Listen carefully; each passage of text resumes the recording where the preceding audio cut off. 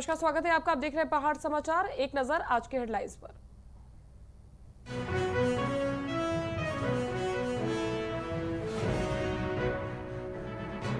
राज्य में नए सीएम के बनते ही बवाल सियासी बयानबाजी हुई तेज। बीजेपी ने कहा, छह महीने नहीं, छह साल के लिए बने हैं सीएम सीएम बनते ही एक्शन में आए। धामी, देहरादून में की कैबिनेट बैठक, कई मुद्दों पर लगी मोहर।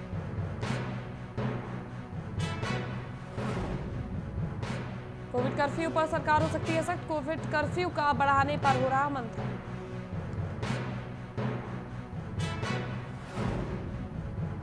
हरिद्वार में नशे के खिलाफ कांग्रेस का धरना प्रदर्शन, सरकार को सौंपा गया ज्ञापन।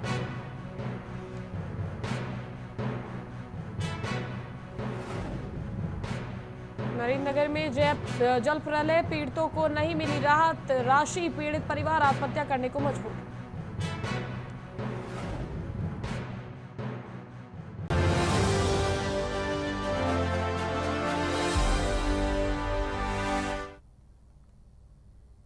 राज्य में तीसरी बार मुख्यमंत्री बदले जाने पर अगले अलग अलग राजनीतिक दलों के लोग अलग अलग बयानबाजी कर रहे हैं।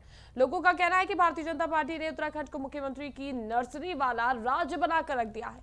तो वही भाजपा नेता पार्टी का बचाव करते हुए बोल रहे हैं कि पार्टी ने जिन सरोकारों और संवैधानिक संकट को मध्य नज़र रखते हुए ऐसा कदम उठाया है। उन्होंने कहा कि उत्तराखंड की राजनीति में पहले आए दो मुख्यमंत्री भी जन सरोकारों के साथ ही काम कर रहे थे, पर पार्टी हाईकमान के निर्देशानुसार उनको सेवानिवृत्त कर किसी अन्य चेहरे को मौका दिया गया है, क्योंकि भारतीय जनता पार्टी सदा ही जन सरोकारों की पार्टी है और पार्टी हाईकमान का निर्णय सर्वोपरि है। बीस सालों में ये बारवा मुख्यमंत्री। पहली बार हुआ कि जनता ने 20 सालों में पहली बार 2017 में इतना विशाल, बड़ा बहुमत इनको दिया, भाजपा को, पचपन सीटें दे डाली। और उसका इन्होंने उस जनमत का ऐसा माहौल, ऐसा मज़ाक उड़ा दिया कि लोगों ने विश्वास किया आप पर, इतना सारा बहुमत दिया। और उसके बाद आप जो है पिछले चार सालों में आपने जो है तीन तीन मुख्यमंत्री बदल डाले। आप चार चार महीने में मुख्यमंत्री बदल दे रहे हैं। क्या मुख्यमंत्री बनाने के लिए हमने प्रदेश बनाया था? इसके लिए लोगों ने राज्य लड़ा। इसलिए लोग अपनी जान दी, लोगों ने कुर्बानियाँ दी, जेलों में गए। हमारे जो बुनियादी सवाल, रोज़गार का सवाल हो, जल जंगल ज़मीन के सवाल हों, विकास के मुद्दे हों, सड़क, पानी, बिजली के सवाल हों, वो सब हाशिए पर है। उन पर कोई बात नहीं है। केवल मुख्यमंत्री कौन होगा, कल कौन होगा, आज फिर सुनाई दे रहा है कि तीस पैंतीस लोग फिर दिल्ली चले जा रहे हैं, फिर सतपाल महाराज फिर नाराज़ होकर के चले गए। तो क्या हमने ये राज्य मुख्यमंत्री बनाने के लिए, मुख्यमंत्री उत्पादन के लिए राज्य बनाए और इस तरह से इन्होंने जनता के विश्वास का, जो विश्वासघात किया है, उसका मज़ाक बनाया हम इसकी निंदा करते हैं और घोर भर्सना करते हैं भाजपा की और इसके सब, इसके जो जिस प्रकार से त्रिवेंद्र जी को हटा करके तीरथ जी को माननीय मुख्यमंत्री बनाया था और माननीय मुख्यमंत्री बनने के बाद उनको छः महीने के अंदर चुनाव लड़ना था। लेकिन कोविड के कारण और संवैधानिक संकट के कारण चुनाव आयोग ने चुनाव कराने से मना कर दिया। और यही कारण था कि उनको अपने पद से इस्तीफा देना पड़ा। उस बीच रामनगर में चिंतन बैठक हुई और तत्काल मुख्यमंत्री को दिल्ली बुलाया गया। दिल्ली में शीर्ष नेतृत्व ने जो भी निर्णय लिया, उस राज्य के हित में जो निर्णय लिया पुष्कर सिंह धामी दो बार प्रदेश अध्यक्ष थे, दो बार खटीमा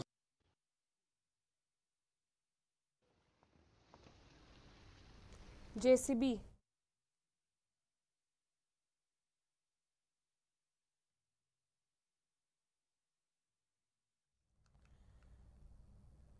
वही इस खबर पर इस वक्त हमारे साथ संवाददाता सुरेंद्र जुड़ चुके हैं। सुरेंद्र, आते ही मुख्यमंत्री बनते ही धामी ने अपने कार्य को संभाल लिया है। क्या कुछ निर्देश दिए गए हैं? बैठक हुई, उसमें क्या निर्णय लिया गया है? किन बातों को लेकर? मैं आपको बता दूँ कि उत्तराखंड राज्य की ये बहुत बड़ी तमन्ना है कि उन्नीस सौ नब्बे के दशक में जब आंदोलन आंदोलन हुए थे तो उस समय से तमाम जो उत्तराखंड के छोटे, बड़े, बुज़ुर्ग महिलाएँ सारी सड़कों पर उतरे थे और अलग राज्य को उनकी मंशा ये थी कि उत्तराखंड राज्य पहाड़ का एक राज्य बनेगा तो पहाड़ का चौमुखी विकास होगा। यहाँ यहाँ के जो संसाधन है, उन संसाधनों से यहाँ के युवाओं को रोज़गार मिलेगा यहाँ यहाँ का विकास होगा और पहाड़ जो पर्वतीय क्षेत्र की जो उससे पहले जो उपेक्षाएँ होती रही, उस पर लगाम लगेगी और यहाँ का विकास होगा। और हम आपको बता दूँ मैं कि जब उन्नीस उन्नीस सौ दस के में जब यहाँ के पहाड़वासी अलग राज्य के लिए आंदोलन रद्द थे तो ये दोनों पार्टियाँ ही, भाजपा, कांग्रेस बिल्कुल विरोधी थे, अलग राज्य बनने के। और जब 2000 में राज्य का गठन हुआ राज्य का स्थापना हुआ तो ये दोनों दल ही बारी बारी से तब से यहाँ के जो पार्वती क्षेत्र की जो सत्ता है उसकी बागडोर संभाले हुए हैं। आज भी जो ताज़ा घटनाक्रम है ये ताज़ा घटनाक्रम ये पाँच में पाँच वर्षों में आप तीन तीन तीन मुख्यमंत्री बदले जाते हैं तो लोगों का तो यहाँ पे सियासी जो हालचाल है जो यहाँ पे सियासी विपक्षी दल जो बयानबाजी कर रहे हैं तो उनका ये कहना है कि उत्तराखंड राज्य मात्र जो है मुख्यमंत्री की एक नर्सरी बनकर रह गई है। जहाँ मर्ज़ी जिसको मुख्यमंत्री बना दो जिसको चाहो हटा दो तो ये आपसी जो विपक्षी दलों के बीच हो रही है। और ये स्वाभाविक भी है, क्योंकि जिस ढंग का जो आज जो बेरोजगारी है, महँगाई है तो यहाँ के युवा जो, यहाँ जो पहाड़ के पहाड़ पलायन पे जो खाली हो रहे हैं, रोज़गार की तलाश में शहरों में जाना पड़ रहा तो राज्य बनने का कोई औचित्य नहीं है।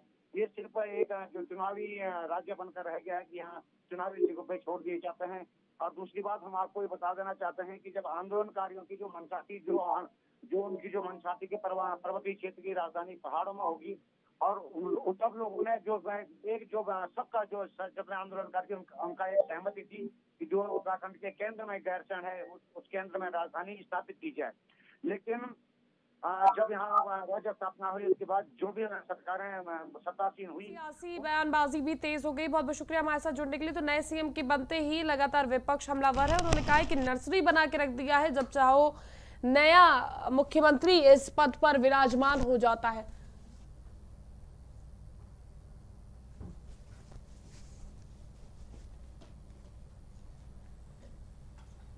जहाँ चाह, वहाँ रहा।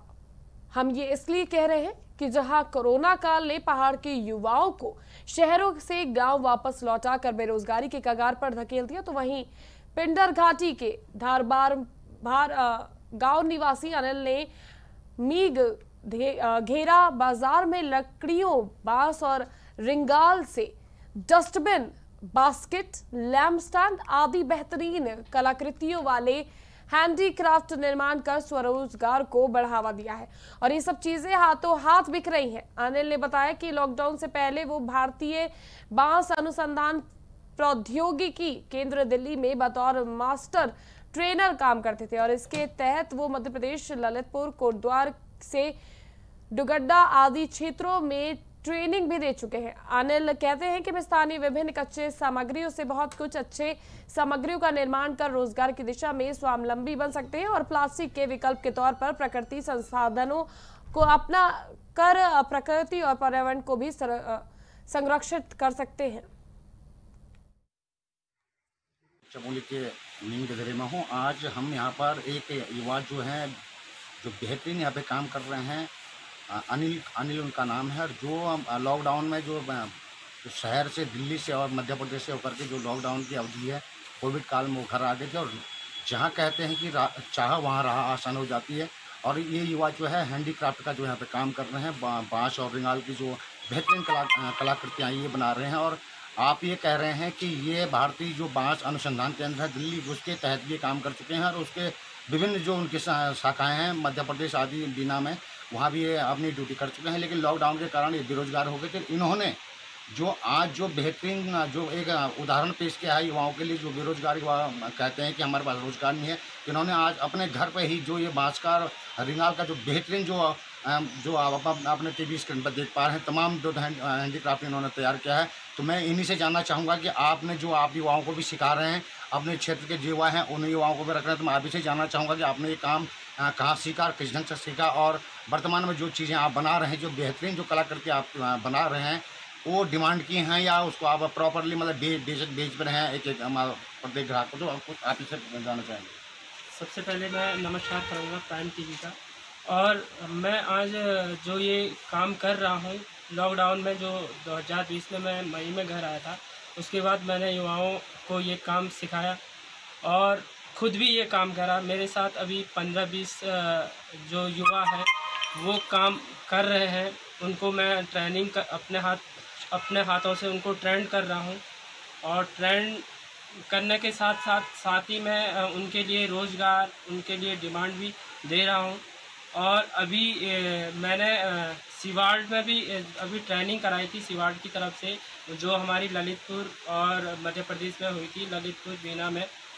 और अ, साथ में मैंने सर्व कल्याण विकास समिति ये कोटद्वार में भी ट्रेनिंग कराई थी। और साथ ही उत्तराखंड फाइबर उत्तराखंड बाँस डेवलपमेंट पीपल कोटी आशीष प्रसाद सती जी ने भी हमें काफ़ी सहयोग दिया इस काम के लिए। उन्होंने काफ़ी मोटिव किया हमें इस काम के लिए। और अभी प्राइम टीवी का मैं धन्यवाद करूँगा पुनः कि वो हमारे यहाँ पे इस कार्यस्थल पे पहुँचे। और हमारे जो ये कलाकृतियाँ हम बना रहे हैं, इनको उन्होंने आगे प्रसारण के रूप में दिया। अभी जो हमने कलाकृतियाँ बनाई है, इसमें हमारे अभी बानिश वगैरह अभी अनफिनिश्ड है, अभी बारिश वगैरह नहीं हुआ है और साथ में ही अभी जो हम ये कर रहे हैं जो काम कर रहे हैं अभी, यह काम पूरा डिमांड का है। जो अभी सर ने बोल, पूछा था हमें कि ये पूरा, ये हमारा डिमांड का काम है। जो भारतीय अनुसंधान, बाँस अनुसंधान, दिल्ली वालों का भी ऑर्डर है, कुछ मेरे पास और कुछ ये लोकल के भी हैं। कुछ और भी ये जो लोकल शॉप वगैरह के, ये काफ़ी सारे ऑर्डर हैं। अभी युवाओं के लिए ऐसा है कि प्रत्येक महीना अगर कोई युवा मेरे साथ जुड़े और काम करें लगने के साथ तो पंद्रह से बीस हज़ार रुपया घर बैठे ही कमा सकता है। इतना, इतने में, इतना इसमें वो है, सक्षम है इंसान, अगर करे, सीखे तो तब। जो जो ये रॉ रॉ मटेरियल है ये यहाँ पे क्या ये पर्वतीय क्षेत्र है यहाँ पे जो रॉ मटेरियल की जो समस्या आती है वो प्रॉपर उपलब्ध नहीं हो पाती तो क्या जो आप ये रॉ मटेरियल है आपके लिए ये आसानी से उपलब्ध हो पा रहा है कि नहीं?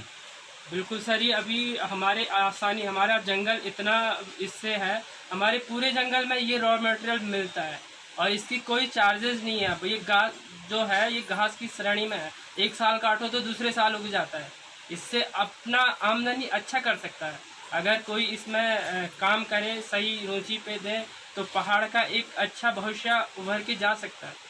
तो क्या आप चाहते हैं कि कोई आप आपको सरकार की तरफ़ से कोई सहायता मिले और जिससे कि आप अपना वर्कशॉप को बड़ा बड़ा बड़े रूप में बना सकें? जहाँ पर कि आपके साथ की जो स्थानीय युवा हैं जो बेरोजगार युवा हैं वो काम कर पाएँ और वो भी यहाँ पे रोज अपनी रोजी रोटी कमा सकें। तो क्या आप चाहेंगे कि सरकार से कुछ ऐसा प्रोत्साहन आपको मिले? बिल्कुल सर मैं ये आशा कर रहा हूँ सरकार से कि अगर सरकार हमें कुछ ऐसी धनराशि या कुछ ऐसा जगह हमें दे दें जिससे हमारी मार्केट और बढ़े। और सबसे पहले एक खास बात यह है कि जो अभी प्लास्टिक है, प्लास्टिक पे हमें मेन फोकस करना चाहिए। जैसे हमने अभी देखा देखा होगा आपने कि डस्टबिन, शॉपिंग बैग, ये सारी चीज़ें। तो ये जो भी बनी हुई है, ये वस्तुएँ ये पूरे प्लास्टिक पे ही हमने काम किया है। सबसे पहले तो भारत को प्लास्टिक मुक्त करना है तो इस चीज़ पे हमें ध्यान देना पड़ेगा। और सरकार से मेरी एक बार यह गुजारिश है कि ये अच्छे ढंग से हमें कुछ धनराशि या जगह प्रदान करें ताकि हम लोग युवाओं को रोज़गार प्रदान कर सकें। बिल्कुल, आपका एक बहुत अच्छा संदेश लगा हमको कि आप ये कह रहे हैं कि भारत को, पूरे देश को प्लास्टिक मुक्त करना है और इस इस वजह से इन्होंने जो तमाम जो मार्केट में प्लास्टिक की चीज़ें उपकरण आते हैं सामग्रियाँ आते हैं, उनके विकल्प के रूप में इन्होंने बाँस और रिंगाल को चुना है और बेहतरीन कलाकृतियाँ हम आपको दिखाना चाहेंगे। जो बेहतरीन कलाकृतियाँ उन्होंने यहाँ पे बना बनाई हुई हैं। इनको अभी ये कह रहे हैं कि अभी ये वार्निश और फिनिशिंग करनी है, फिनिशिंग बाकी रह रखी है। तो बेहतरीन उदाहरण आपका है कि आप प्लास्टिक को मुक्त करना चाहते हैं देश को और अपना अपने आसपास के क्षेत्र को।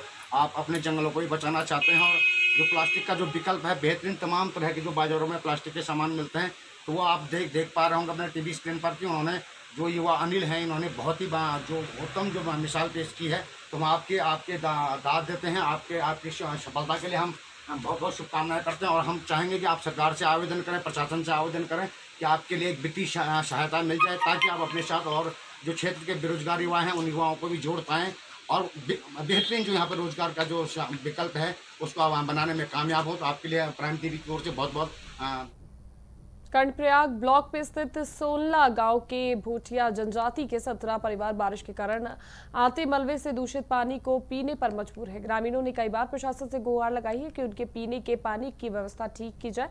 ग्रामीणों का कहना है कि आए दिन जल स्रोत पर सांप और अन्य कीड़े मकौड़े दिखाई दे रहे हैं, जिस कारण भूटिया जनजाति को दूषित पानी पीना पड़ रहा है। बता दें कि ये सोनला क्षेत्र नगर पंचायत नगर नंदप्रयाग में आता है। समस्या के समाधान के लिए भी ग्रामीणों ने कई बार नगर पंचायत नंदप्रयाग के चक्कर लगा दिए, पर इनकी पानी जैसी गंभीर समस्या का कहीं निदान नहीं किया जा सका है।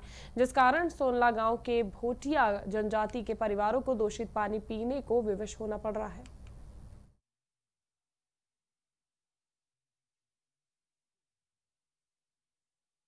इस वक्त सुरेन जुड़ चुके हैं। सुरेन भोटिया जाति के लोगों की क्या समस्याएँ हैं? किन चीज़ों को लेकर, पानी की समस्या से वो जूझ रहे हैं, लेकिन किन से शिकायत की अभी तक निदान क्यों नहीं हो पाया है? जी मैं आपको बता दूँ कि जो भोटिया जनजाति की सोनला कंपैक्ट ब्लॉक के सोनला में पड़ता है और ये नंद प्रयाग जो नगर पंचायत है, उसके अंतर्गत आता है। यहाँ पे ग्रामीणों का जो ये जो लगातार आक्रोश और जो आरोप है, ये उनका कहना है कि वो लगातार प्रशासन और नगर पंचायत के चक्कर काट चुके हैं और उसके बावजूद भी उनकी जो पेयजल लाइन है, उसकी मुरम्मत नहीं की जा रही है और वो लगातार दूषित पानी पीने को मजबूर है। और यहाँ तक कि उसका जो मुख्य स्रोत है, वहाँ पर कीड़े, मकोड़े, मेंढक, सांप इत्यादि चीज़ों देखे जाते हैं। इससे वो ग्रामीण घबराए हुए हैं कि लगातार दूषित पानी पीने के लिए। क्योंकि मैं आपको बता दूँ कि अकेले ये जनपद चमोली में अकेले सोनला की बात नहीं है। बल्कि तमाम क्षेत्र ऐसे हैं जहाँ पर लोग जो सरकारी, अन्य अन्य जो सरकारी निर्माण कार्य हो रहे हैं, चाहे सड़कें हैं, चाहे कुछ भी है, उनके कारण भी लोगों के जो है मंगवा जो है गंगामठ मेला पानी पीने को मजबूर है। कई लाइनें जो बरसात में क्षतिग्रस्त हो जाती हैं तो इस ढंग से जो पूरा जनपद वासी कई ऐसे क्षेत्र हैं जहाँ पे गंदा पानी पीने को मजबूर है। और जो राजनीतिक उथल पुथल है, जो कोविड काल है, सबका ध्यान उस ओर है जो जनता है, जनता की तमाम समस्या है, उन समस्याओं पर न तो शासन ध्यान दे पा रहा है न प्रशासन ध्यान दे पा रहा है न स्थानीय जो कर्मचारी हैं वो ध्यान दे पा रहे हैं। तो सबका ध्यान राजनीतिक उथल पुथल तक ही सिमट कर रह गया है और ग्रामीण की जो मूलभूत समस्या है, उन पर किसी की नज़र नहीं जा रही है। अगर वो ग्रामीण कहते कि तो उनका समाधान नहीं होता। जी करते हमारे साथ जुड़ने के लिए तो लगातार भोटिया समाज के लोग पानी की समस्याओं से परेशान है और उन्हें ये गंदा पानी आप तस्वीरों में देख सकते हैं किस पानी में सांप तक नज़र आते हैं, कीड़े मकोड़े तक नज़र आते हैं और कई बार शिकायत कर चुके हैं, लेकिन उसके बाद अभी तक इस पर कोई कार्रवाई नहीं हो रही है। जहाँ कोरोना ने पूरे देश में हाहाकार मचा रखा है, वहीं उत्तराखंड राज्य में प्रवेश करने वालों के साथ उत्तराखंड बॉर्डर पर ही ई पास के नाम पर अवैध वसूली की जा रही है। बता दें कि उत्तराखंड में अब रविवार के दिन ही पूर्ण लॉकडाउन है। उसके बावजूद भी उत्तराखंड बॉर्डर पर प्रवेश करने के लिए लोगों को काफ़ी दिक्कतों का सामना करना पड़ है, जिससे बॉर्डर पर लंबी लंबी कतारें लग चुकी है और यात्रियों को दिक्कत हो रही है। कुछ यात्रियों का कहना है कि हमें दो घंटे हो गए हैं। हमारे पास आरटीपीसीआर की निगेटिव रिपोर्ट है और कोविड सर्टिफिकेट है। ई पास भी मौजूद है। उसके बाद भी प्रशासन द्वारा ई पास की मांग की जा रही है। जो ई पास उनके पास मौजूद है, उसको स्वीकारा नहीं जा रहा है और नए बनवाने के नाम पर बॉर्डर पर यात्रियों से सौ से लेकर दो सौ रुपए की डिमांड की जा रही है। एस टी पी वो पी सी आर जो है, उसका भी sorry R T P C R वो भी सर्टिफिकेट है, उसके बाद भी हमें लाइन में लगा दिया है। हमसे टू हंड्रेड रुपीज़ चार्ज किए हैं दो कारों के बट उसकी कोई रिसीट इशू नहीं की है, कोई हमारे पास रिसीविंग नहीं है कि हमने उन्हें टू हंड्रेड रुपीज़ पे किए हैं। ये किस किटी में जा रहा है? नो आइडिया गवर्नमेंट चार्ज कर रही है रिसीट इश्यू भी कर रही है। बनाकर और आर टी नेगेटिव रिपोर्ट लानी होगी और साथ ही साथ दोराहे बॉर्डर पे हमारे रजिस्ट्रेशन टीम है, जो प्रशासन की तरफ़ से बैठाई गई है। वो लोग इसमें पूरी एंट्री करेंगे, उसके बाद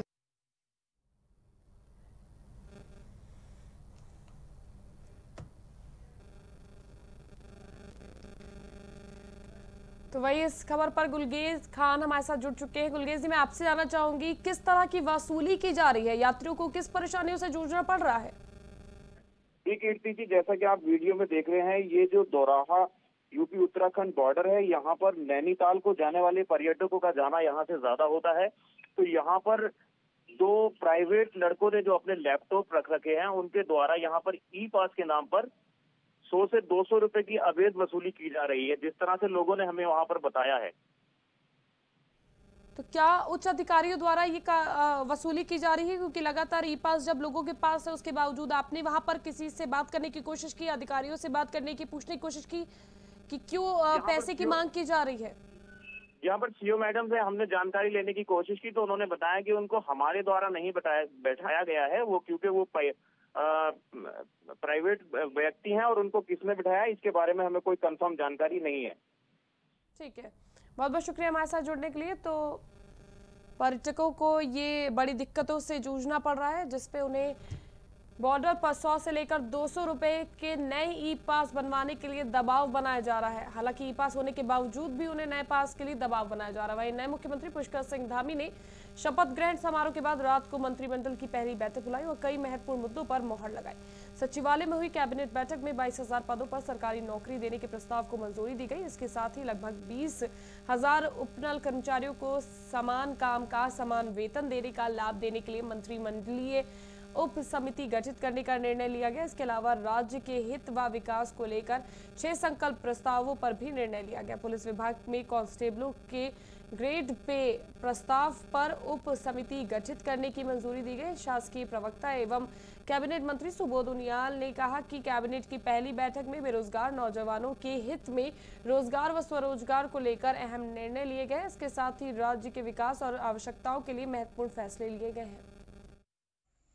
देर रात तक कैबिनेट चली है और काफ़ी अहम फैसले नौजवानों के हितों को लेकर के, बेरोजगारों के हितों को लेकर के और कई जो महत्वपूर्ण राज्य की आवश्यकता है, उनको लेकर कैबिनेट ने निर्णय लिए हैं, क्योंकि ये काफ़ी महत्वपूर्ण फैसले हैं, और मैं समझ कोरोना संक्रमण की रोकथाम के लिए प्रदेश में लागू कोविड कर्फ्यू को सरकार एक हफ़्ते आगे बढ़ाने जा रही है। तेरह जुलाई तक कोविड कर्फ्यू का समय बढ़ाया जा सकता है। इसमें वर्तमान में लागू रियायत को बरकरार रखने के साथ ही शॉपिंग मॉल खोलने की छूट दी जा सकती है। Cinema hall, swimming pool, theatre, auditorium फ़िलहाल बंद रहेंगे। प्रदेश में बाहर से आने वाले लोगों के लिए कोविड जाँच अनिवार्य रहेगी। वहीं सूत्रों के मुताबिक, स्कूलों में फ़िलहाल ऑनलाइन पढ़ाई जारी रहेगी। कोविड कर्फ्यू के संबंध में एसओपी आज शाम तक जारी हो जाएगी।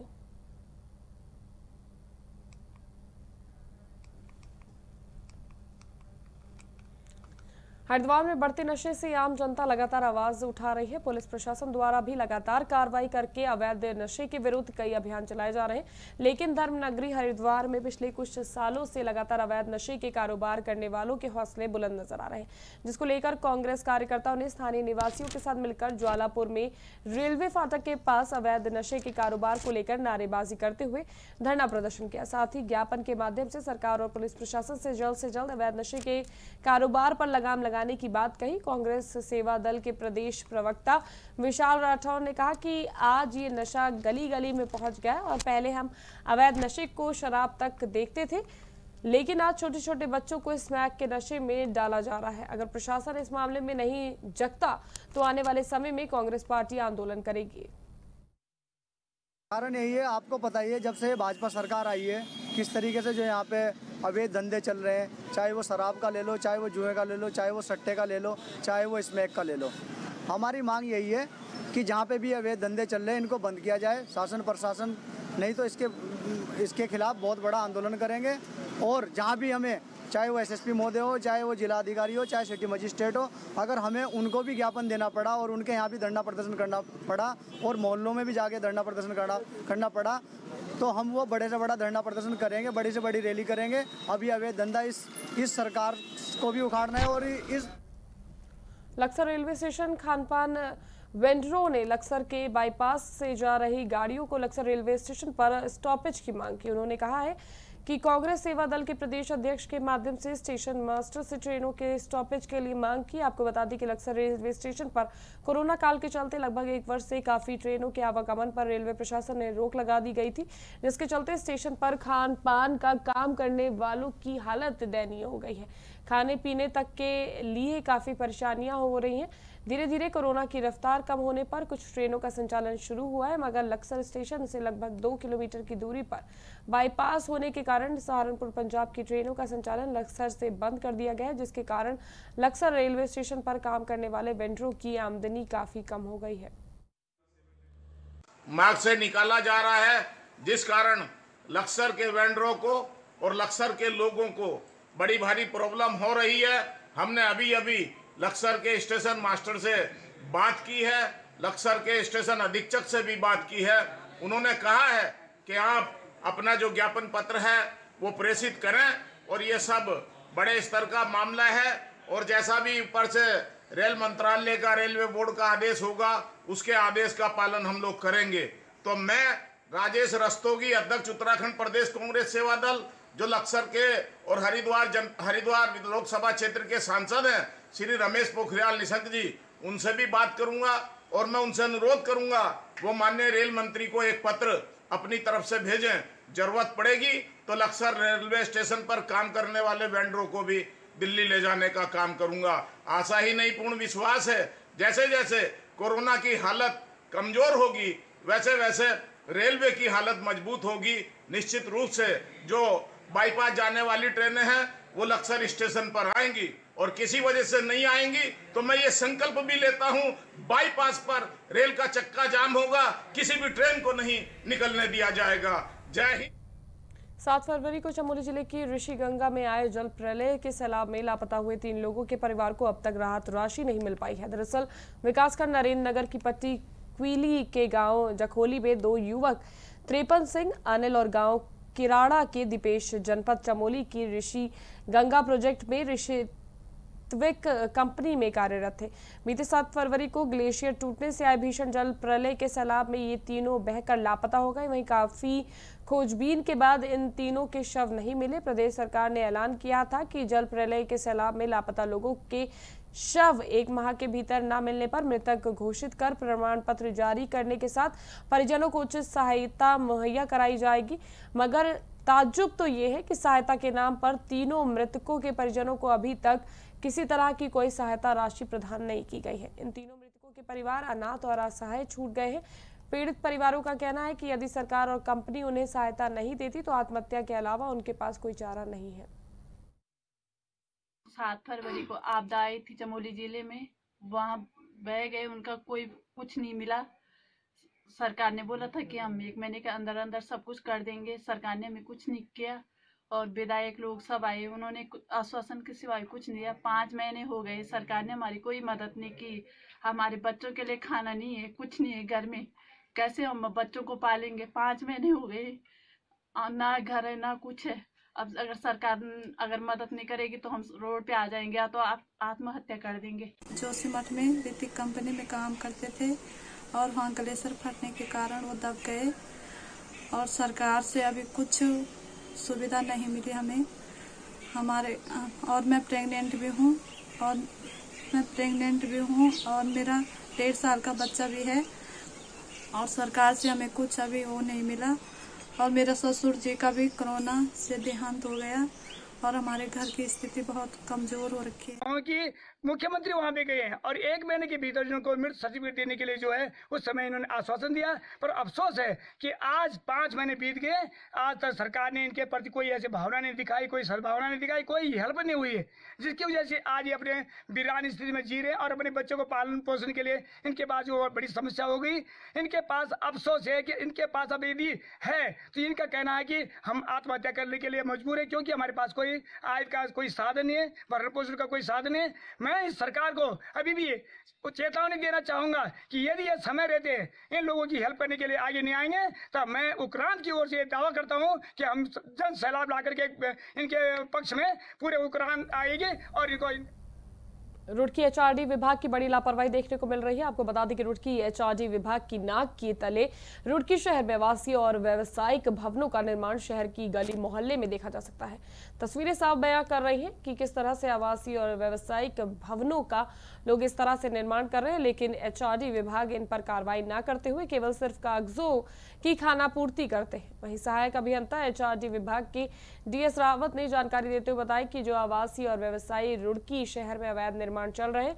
हमने अपर अभियंता को उस पर मौके का मुआयना करने के लिए भेजा था। उन्होंने बताया कि जो इस प्रकार के निर्माण चल रहे हैं उस पर हम विधिक रूप से निरीक्षण करने के दौरान सख्त से सख्त कार्रवाई करेंगे।